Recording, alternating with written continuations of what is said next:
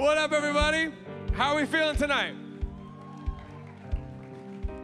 So, Niko, the one time you come on the platform with me and we sit next to each other, they give you that kind of remark and response. Listen, you know, it is what it is. How are you feeling tonight, everybody? That is what I like to hear. We're gonna hop right into it because we're gonna, you know, dismiss in a minute. We really want to get this series uh, of connect groups as we're doing in the cage with the men and we're doing hurdles with the ladies. We want to get that going. Uh, we want to complete it. There's some great stuff in there. I, I think it's the one this week or next week that the guys are like really gonna get into some real truthful stuff that you're not used to hearing on, uh, from a pastor, but I'm excited for it. But last week we came on the platform right before we dismissed, and I looked at Niko and said, "Hey, we need to do. We need to talk about your testimony." And uh, we just thought we would do it this week. So before we get into it, we're going to take like 10, 15 minutes just to talk about the story behind the man that you see all the time. You know, since I get to preach often, you get to hear my story, but you don't always get to hear the stories of the people that are serving all the time. And I'm telling you right now, the story you're about to hear it really is a modern day Bible story, if you ask me. Um, I'm not going to get into it. Uh, he's going to get into it, but we're going to talk about it. But let's just pray real quick. Niko, you want to greet everybody before we pray? Hi. I mean, I already said what's up before, so it's like, how many times can you say what's up, right? You know, I complimented some people. Did did everyone else compliment people? You know, that's what you're supposed to do. Go around and say, "Oh my God, Y'all you got look really good. nice shoes." Yeah. Smell good. Gabby, I did it, right? Ish. Really nice shoes. Let's pray. Father, we thank you for laughter in your church. Lord, we thank you for the opportunity to be here.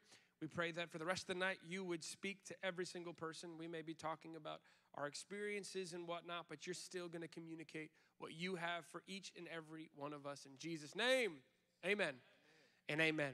So, Niko, why don't you tell everyone in the room a little bit about yourself? You're now engaged to Sabrina Lilo yes. Roselle. Yes, Uh, it's, it's Lilu. She would want me to correct you. it's Lilu? It's Lilu. She, I, I know she was kind of giving me the look like it's not Lelu, it's Lilu. Wow. I got you. Do you guys remember when I first like announced my engagement too? Me and Rochelle kind of had that one moment, and I was like, "That was my fiance," and she remember that? I do. That was like that, that, that right here. Oh my god, it was so great. Look at that. There was like, remember she dropped her water bottle? uh huh. Remember that? The whole ding. It was the loud ding. No, no, no, no, No? no, no. We had some. No, there was something very similar. I promise you. I promise you, because I went home saying I had my moment, and I remember this entirely. Niko, why don't you tell everyone in the room a little bit about yourself? Well, uh, where do I begin? So um, God, wait, I was on. born. That, that specific idea was Connor Roxana. No, but we had something separate. Continue. Okay, so I guess I'll skip when I was born. Just kidding. Um, well, I guess I'll just kind of start where I'm at right now. I'm Niko, last name Gonzalez. I tell people I'm Sweeter Rican because I'm Swedish and Puerto Rican, not because I'm sweet and Puerto Rican. Anyways, uh, so I currently work at FIU. I play football there. Um, I'm studying to get a master's in global affairs with a focus in globalization and security. And really, just to give you, I, I guess, a, a, a sh- short little piece of my life, or not a piece, but really just everything consolidated into one thing, is I just played football for a large majority of my life. I loved it. And quite frankly, it's how I really have learned to uh, be me. I've learned so many things from football that I'm so grateful for. Um, and it's funny that I'm mentioning this because I, I had just grown out of the Niko the football player, you know, thing, but now I'm bringing it back because of me.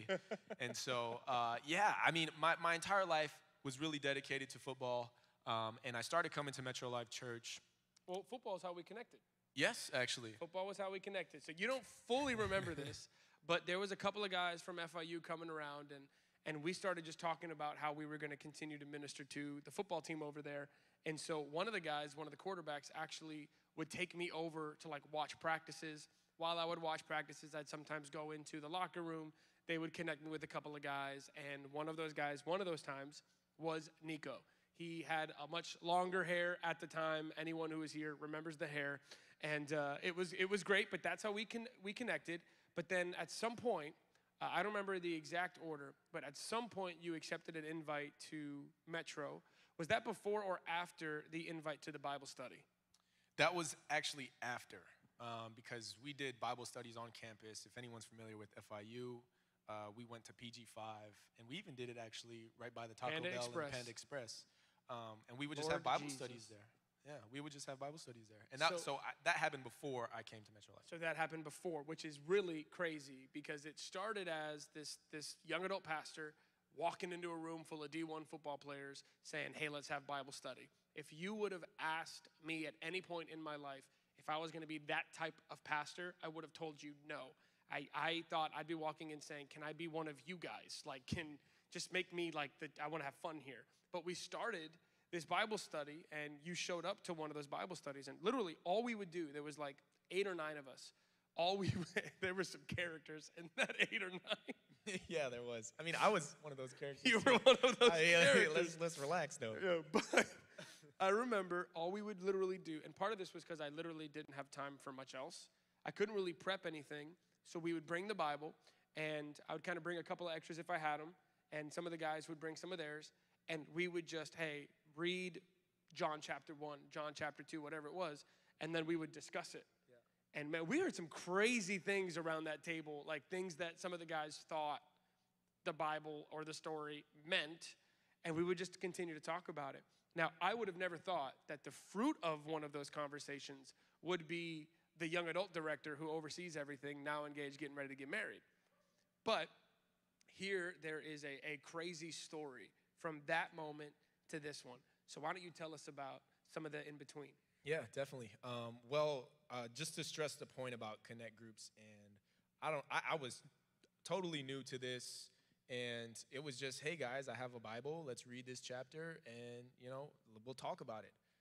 If any of you ever want to lead a connect group, that's all you have to do, and you just talk about the Bible, and you just learn together. So, anyways.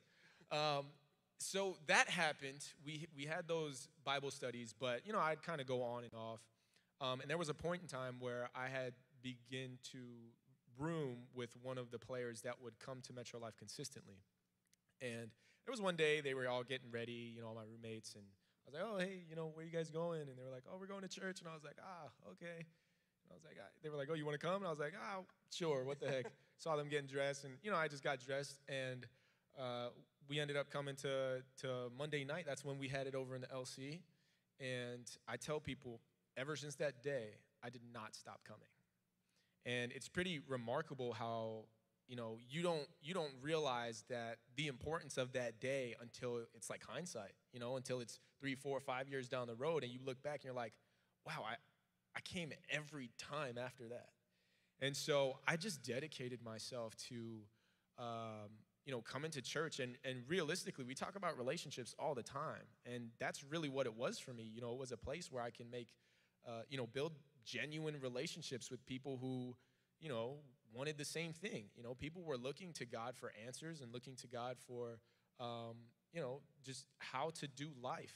And so the more and more I came, the more I began to bond with several people in church. And, and Pastor Chris kind of, you know, took me under his wing and you know he I, I talk about it all the time but he's played such a significant role in my life and it just goes to show um, the importance of relationships um, and so you know I, I, guess in terms of ministry i served over in uh, young adults or excuse me uh, youth um, and then Here comes this burly football player coming to serve in the youth group.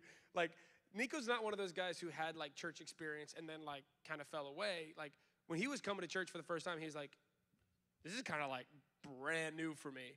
And yet, within like a year and a half of that, he was like serving youth, talking to kids. Yeah, it was the weirdest thing. I'll be honest. It was the weirdest thing because I just came and it was like, you come and, and you serve. Like, that's just what you do. So I was like, all right, like, that's what I'm doing then. I'm coming and I'm serving. And I literally served every Wednesday. Or at the time, it was a Friday, I At think. the time, it was a Friday. Or maybe not. I don't know. Yeah, well, it's Anyways. all good.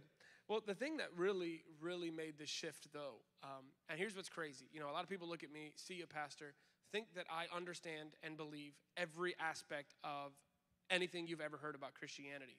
But as much as Niko says, you know, I played a significant role, he's played a significant role in my life too, because literally watching his conversion, watching him go from a guy who really didn't understand or believe at all to a guy who was like really asking to get baptized. I, as a young developing leader, didn't understand the value of baptism really until I watched him get baptized. And there was like, I, I say it to this day that if, if, if there was ever a time where I remember somebody went into the water and somebody else came out. It was with Niko. I remember seeing that. And so, Niko, real quickly, like, tell us about that part of your story. It was when the stage was over there, mm-hmm. and it was not in the beautiful, you know, uh, Yeah. thing we have out there. It wasn't in the ocean. It's a nice big blue bucket. it was a bit indoor, big blue bucket. But tell us about that. Yeah, well, um, you know, I, I'll never forget. I was in class. I was taking one of the hardest classes of my life, honestly, and I knew I was going to be late to church. And they were doing baptisms before kind of the, the service began. Yeah, it was a Wednesday like worship night, I think, or something like that. And um, you know, they were doing the the baptisms before every everything got started, sort of. And I texted Chris and I was like, "Hey, man, you know, I don't think I can make it for the baptism. I'll still come late, but you know, I, I won't be able to be there to get baptized because he knew that I wanted to come and get baptized." And so he was like, listen, man, don't worry about it. We'll get you baptized, you know, after, like, no big deal.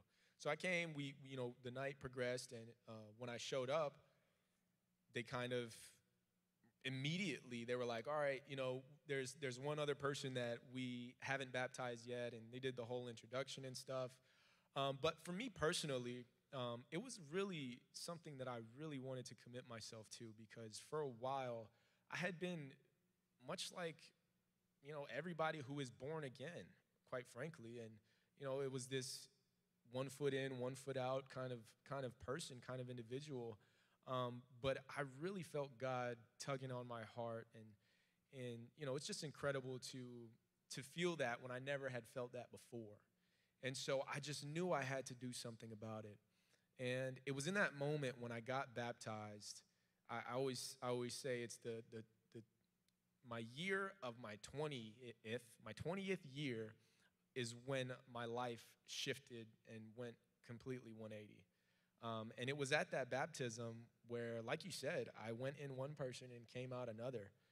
Um, and it was it was just really great. You know, my friends were there to help support me and and uh, you know celebrate me. And and from that moment forward, I told myself, I said, Neek, you're here because of God. And so, because of that simple truth, there's no reason why you shouldn't be living a life for God. Like, if it weren't for God, I would literally not be here. And so, I'm gonna do everything He tells me because, are you kidding? You know, and that's just how it struck me. And I was like, you know, I'm, I'm, I'm done with this one foot in, one foot out. I'm making a choice. I'm following Jesus. And boy, the fruits, The fruits. the fruits. Well, I'm glad you said that, the, the fruits, because as we bring this thing to a close, I, I don't think we could really tell your whole story uh, fr- from this you know, perspective. Part of it's going to have to be through relationship, people get to know you, and as they get to know you, they see what God has done. And I mean, I remember the conversation. We were going to get tacos down south. It was you, me, and one of those characters, you know? And we were just, uh, you know, you probably wouldn't expect a pastor to be in the middle of that car. I, I wouldn't have expected that the future young adult director was in that car. It was like, look what the Lord has freaking done. But we sat there, we drove down. I did everything in my power to be like, I'm gonna make it seem like I'm one of those cool guys. Like, you could curse in front of me, like, I don't care. Like, that was gonna be Oh, my man, thing. That was it. that, I, that was the first time actually you put me on John Mayer, and I was like, "Yo, That was the What first been missing? baptism, and then later on, that was that was very um, blaspheme. But but you know, Niko, you, you use the term fruit, and uh, we've been doing connect groups for the last couple of weeks, and we say, you know, you, that you got baptized. We, we talked about how it started in a connect group. You know, we talk about tithing. We do all of these things, and it just seems like that's just the church stuff. And a lot of people really come, especially on Mondays, they come to kind of just hear the message. They continue to go and live their life the way that they've lived it. The way that they've changed it now is they come here and they receive here. Uh, and that's great because the Bible says that faith comes through hearing. So people that want to come to the church to hear, that's great. But the Bible also says faith without works is dead. And that there comes a day where just the church stuff has to become stuff that we do actively. You see, I have to be honest with you. Niko probably doesn't remember many sermons that I've preached in the four or five years he's been coming around. I guarantee you, if you were to ask my wife, who's been here eight years, some of the messages that I've preached, she probably wouldn't remember many. If you ask me, what are some of the messages that you've preached, I probably wouldn't remember many. But every one of us remembers people that have really, really, really shown us they care for us. Every one of us remembers the conversations, the one on one moments, the relationships that we build. Those are the things that really change the course of our life. I have my Pastor Chris. I, I have the guy who has poured into me at an individual level and helped me be who I am today. And you seem to have that guy, but there's a lot else too. You've got guys like Robbie constantly um, continuing that the iron is sharpening in both of you. You have guys like Gabe and Johnny, guys that come alongside of you. So it's really relationship. And so, listen, I understand that going into connect groups on a Monday night is a big shift from the big services where we come and we preach big messages. But I personally felt like it was time to put our money where our mouth is. And what I mean by that is, I can't, I understand we could build crowds off of sermons because faith comes through hearing. And then we can attract plenty of people who want to build their faith by constantly talking. But I know there's not a lot of life change there. And you know what? If there's not a lot of life change, that means even the, the works that we're doing here are kind of dead too. Because if it's not inspiring life change, if it's not inspiring baptisms, if it's not inspiring us to say, man, my life, like you said, that 180, then what are we doing? Why are we here? Y'all can hear way better preachers than me on, on, on the internet. So that's why we've kind of hit the, the rework button and said, let's get into connect groups. Let's, let's actually take time to make sure that people who are coming alone for one, two, or three weeks don't come alone for four, five, six, seven weeks. They meet with people, they connect with other people. Because I'm telling you right now, I have been in church 29 years. I think I remember three or four sermons. And I'm a preacher. Sermons give you the little bit of gas that you need to keep going.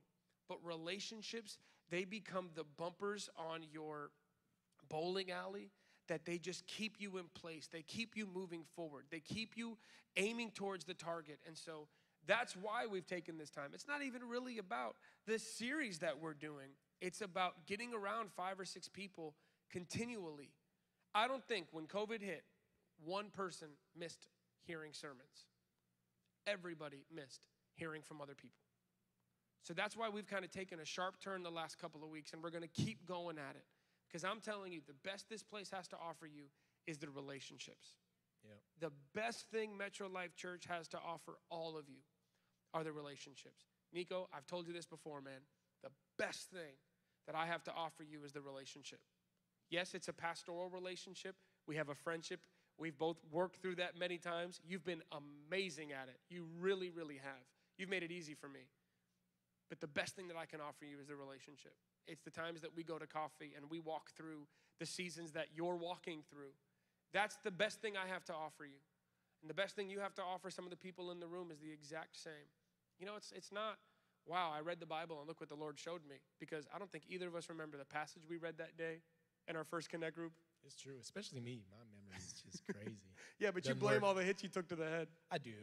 I do. you give me you give me some heat for that, but you know. Yeah, because I don't believe that. I, I don't. I think that's all a little bit of a sham. But it's okay. You're the one who actually did it, not me.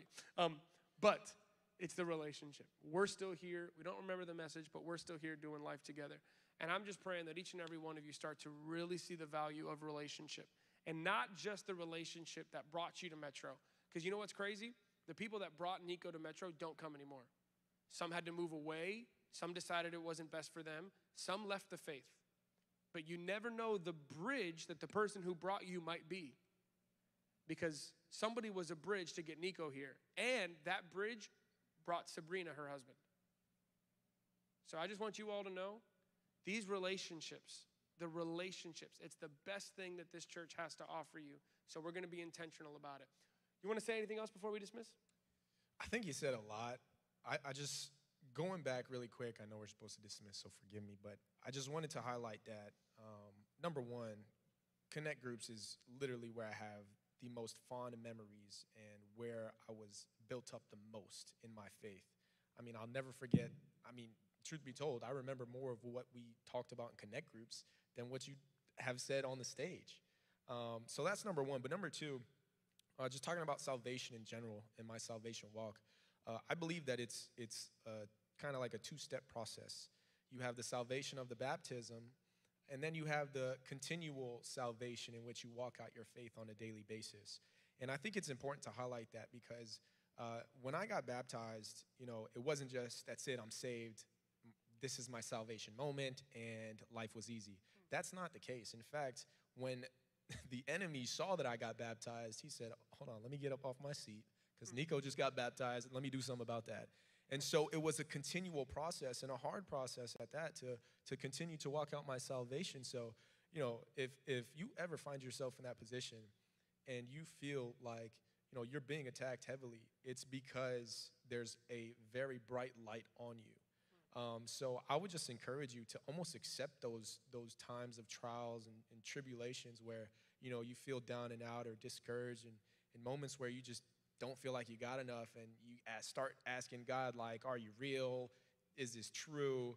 Those are the times where you know the, the testing of your faith true, truly does produce that perseverance. That was great, Niko.